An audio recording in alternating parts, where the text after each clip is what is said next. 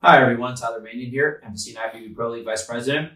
This will be your Texas Pro recap for Classic Physique, brought to you by New Tech.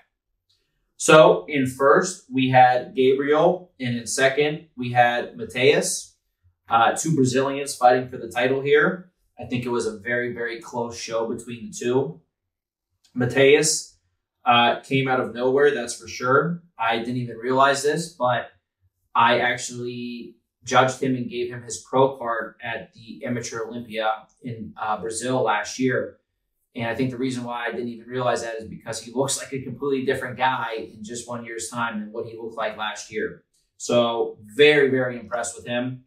Uh, when it comes to him and Gabriel, I think the main difference between the two was the conditioning and the overall density to the muscle that you know Gabriel displayed more than Mateus. Uh, Gabriel definitely came in more conditioned than he did in Tampa last week.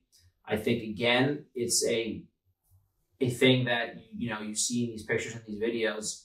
Basically, to the eye in pictures, he looks the same, but there was a big difference. So it just goes to show you what a difference there is in person. That it just doesn't matter how high quality the cameras are for video or for pictures. It's just you're not going to catch it unless you go to shows. So I know we have a ton of Brazilian bodybuilding fans out there. Uh, I would just want to say I want to encourage you to try to make it to more shows. I think you're really going to enjoy the experience and you'll see more of what we're talking about when we say pictures and videos don't tell the full story. So get out there. There's a ton of shows in Brazil. Go support your favorite athletes in person. I know they'll appreciate the support. Uh, for Mateus, I think the main things he needs to work on is adding more density and fullness to his chest. That's definitely his weakest point of his physique. The next thing would be adding more of that density and detail to the back. I think he did an amazing job of improving that in just the last year. And he has all, he has everything there to make this into a very strong pose for him. So you can see, especially in person, you can see that that is new tissue, it's newer muscle.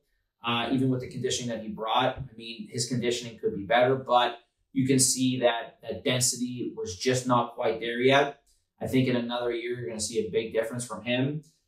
Uh, like I just mentioned, the conditioning, he needs to find that next level of conditioning. That's going to add more separation and more detail to his physique. When he has that, this guy's future is extremely bright. I would be surprised if he's not able to earn a qualification this year to the Olympia.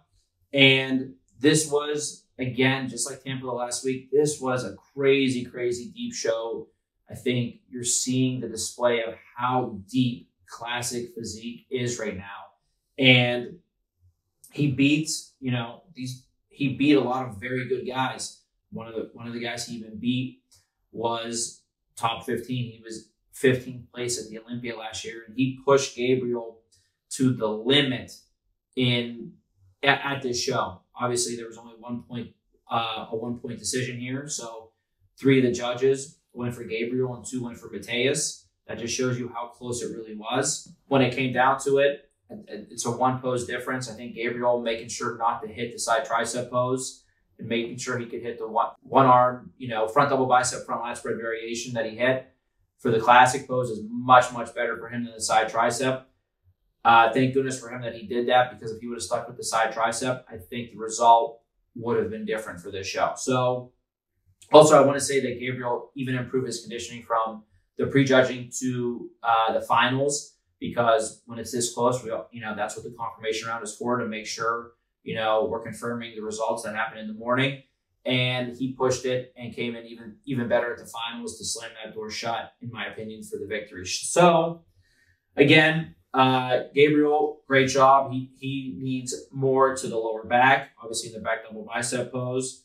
He can still use uh, some more sweep to the quads and some more, uh, you know, hamstrings, especially in the side leg pose the same feedback from Tampa the week prior. But I think he posed better at this show. He displayed his physique better, and the conditioning uh, was, in my opinion, much better as well. So good job to him. I think he has some very good momentum going forward to the Olympia this year. And again, another show where he came out victorious in this one last week, even though he was second. He beat a lot of very, very good and competitive guys. So, very good momentum for him going towards the Olympia. In third, we had uh, Dankovia. So, for Dankovia, he his conditioning is the best I've seen him for sure. This is the best condition he's in, but he has to take his conditioning to another level as well, especially with the with the competitors and what they're bringing these days. And he still needs more of that density and depth to the back to make that back double bicep a stronger pose. Those are really the main two things for him. You see, he has very, very full and round muscle size wise. He's very, he's very thick and dense while still maintaining a very small waist and great overall shape. In fourth, we had Laszlo. Laszlo brought really, really good conditioning to the show. Um, you can argue that he could have uh, flipped with Dankovia uh, between third and fourth. I think the main reason why he ended up in fourth, even though I really liked his look and his overall conditioning, was if you see throughout the arms and the legs, the size and the muscularity, he got out muscled in these body parts uh, by the competitors ahead of him. So while I mean the arms and the legs are not bad by any means, I think he he has a great physique overall. You just see he was getting out muscled by each of the three guys ahead of him. Another thing is he needs to figure out a way to improve his back double bicep pose. Out of the top four, he's the only one that has a pose that's very, very weak, uh, especially compared to all, the, all his other poses. So that back double bicep just really doesn't fit with his his other four poses. His other four poses are definitely strong. The conditioning shines through, but the back needs more width, needs more detail, needs needs more density. And I don't know if it's just the way he's hitting it or what, because as you see from the front, his front double bicep looks great. Uh, when he hit a front lat spread, his lats were spread out all the way. His taper looks amazing. He's a nice small waist.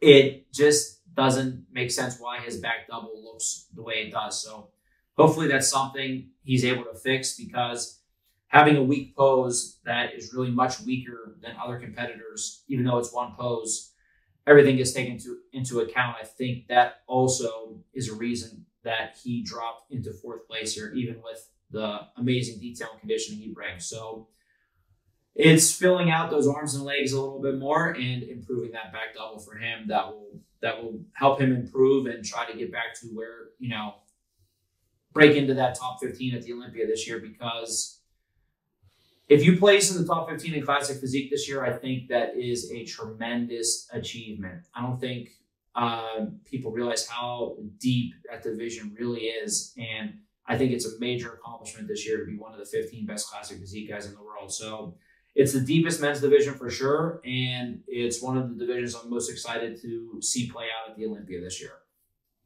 This will be your Texas Pro recap for men's physique. So in first, we had Jeremiah. Jeremiah came back and defended his title. Uh, the, the conditioning he brought was really, really good. I don't think they, they could have nailed that conditioning any better than what they did. His front pose was very balanced and very detailed overall. Good balance between the arms, the shoulders, fullness throughout the chest. The detail through the midsection was very, very impressive. The abs were deep and separated. His serratus had very, very good detail to it. And the way he hit the pose was very good as well. So great front pose. For the front pose, the only thing I think he can work on a little bit more is just adding a little bit more to the legs. His legs weren't bad, but still adding a little bit more fullness there can balance out that front pose even more and make it even stronger.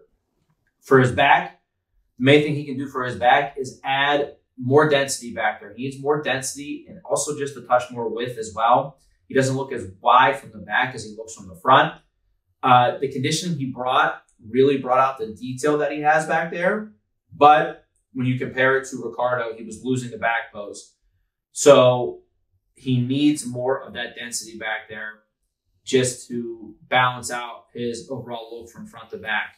But again, the conditioning, the detail that he had really helped him still stay competitive, at least in the back pose with Ricardo. Now with Ricardo, Uh, the same things for feedback that I've given him, you know, this year he still needs to do. He needs to fill out his chest a little bit more. He can add a little bit more to his lower lats in the back pose. I think he posed his back much better than he did in Tampa a week ago. He posed it much better here. Uh, the back itself, I should say. And the front pose too was a little bit better posing wise, the way he was hitting it. However, he really breathes through his stomach when he's on stage. In the front pose, he did not stay on his abs the whole entire time. Uh, against the guy that has a great front pose like Jeremiah, you cannot afford to do this. So he, he was having a lot of trouble really staying on the abs the whole entire time. When you're not staying on the abs, that kind of throws off that whole entire look to, to your front pose. I think he's squeezing everything just too much. He needs to be able to relax more and make it come more naturally because he's exerting so much energy. I think that's why he can't help but breathe through his stomach. And the same thing with the back pose. Even though he posed his back much, much better, I don't know what he's doing or squeezing or whatever else. You see his waist, he's breathing through his stomach again in the back pose. And that's evident while he's standing to the back facing the rear. So that's really not good. That's not usual, especially for men's physique, that we can see that. That's the main stuff he needs to work on because his conditioning, again, was very, very good. And he has a great physique overall, even right now. You know, before he makes the improvements that he needs to make, his physique is very competitive. It can stand with Olympians. So that posing stuff, he needs to work on. He cannot breathe through his stomach. In third, we had Ahmed from Egypt. I think he did a good job of coming in more condition than he did the week prior in Tampa. Uh, for me, the number one thing is he needs to shrink down the arms and the shoulders more. I think they're they're much too thick. Uh, he also needs more depth and detail to his back. So he needs to streamline the arms and the shoulders while improving the back. It's not an easy thing to do, but he definitely has to do it because for me, his arms, his arms are just too big.